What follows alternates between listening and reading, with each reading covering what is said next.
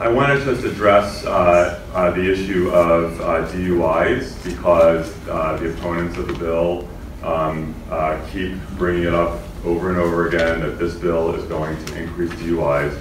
Uh, and I will say what I said last year, and it is still true. There is no evidence that that is the case.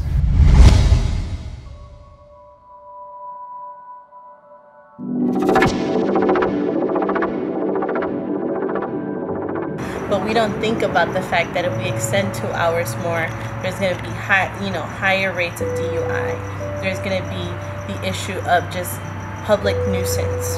This ripple effect of people that party in Koreatown, party in LA, don't necessarily live in LA, right? They're still driving out to other communities that maybe didn't pass the bill.